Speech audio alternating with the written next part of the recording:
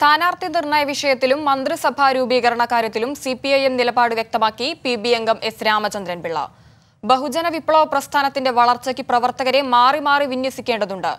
അത്തരം ധീരവും ദൃഢനിശ്ചയത്തോടു കൂടിയുമുള്ള നിലപാടുകൾ എടുക്കുമെന്നും എസ് പറഞ്ഞു. സ്ഥാനാർത്ഥി നിർണയത്തിലും മന്ത്രിസഭാ രൂപീകരണത്തിലും സി പി ഐ എമ്മിന്റെ കാഴ്ചപ്പാടുകളാണ് C P I M polit bureau അംഗം എസ് രാമചന്ദ്രൻ പിള്ള ദേശാഭിമാനിയിലെത്തിയ ലേഖനത്തിൽ വ്യക്തമാക്കുന്നത്. രണ്ടു തവണ തുടർച്ചയായി ജയിച്ചവർ മത്സരിക്കേണ്ടതില്ലെന്ന തീരുമാനം സംസ്ഥാന കമ്മിറ്റിയുടേതാണ്. ഇതിന്റെ തുടർച്ചയാണ് മുഖ്യമന്ത്രി ഒഴികെയുള്ള ആരും മന്ത്രിസഭയിൽ തുടരേണ്ടതില്ലെന്ന തീരുമാനവും. എം എൽ എമാരിലും മന്ത്രിമാരിലും ഒരാൾക്കോ കുറെ പേർക്കോ മാത്രമായി ഇളവ് നൽകേണ്ടതില്ലെന്ന തീരുമാനം സംസ്ഥാന കമ്മിറ്റി ഏകകണ്ഠമായാണ് എടുത്തതെന്നും രാമചന്ദ്രൻ പിള്ള ലേഖനത്തിൽ വ്യക്തമാക്കുന്നു.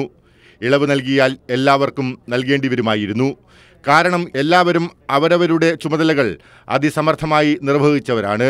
ബഹുജന വിപ്ലവ പ്രസ്ഥാനം വളർത്തിക്കൊണ്ടുവരാൻ പാർലമെന്ററി ഇതര മേഖലകളിലെ പ്രവർത്തനങ്ങൾക്ക് പാർട്ടി പ്രവർത്തകരെ മാറി മാറി വിന്യസിക്കുന്നതിനായാണ് ഈ തീരുമാനമെന്നും എസ് രാമചന്ദ്രൻ പിള്ള വ്യക്തമാക്കുന്നു. ഒരു വിഭാഗം ഭൂഷാ മാധ്യമങ്ങൾ സംഘം ചേർന്ന് പാർട്ടിയുടെ തീരുമാനത്തെ സ്വാധീനിക്കാൻ ശ്രമിച്ചിട്ടുണ്ട്. ചിലരെ ഇകഴ്ത്തിയും ഇത്തരക്കാർ ആശയക്കുഴപ്പം സൃഷ്ടിക്കാൻ ശ്രമിക്കുന്നതിന്റെ പിന്നിൽ വലതുപക്ഷ രാഷ്ട്രീയവും അസൂയയും വ്യക്തിതാൽപര്യവുമാണെന്നും രാമചന്ദ്രൻ പിള്ള തുറന്നെഴുതുന്നു.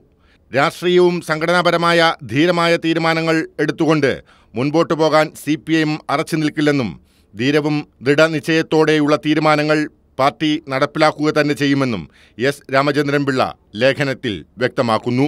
കൈരളി ന്യൂസ് തിരുവനന്തപുരം.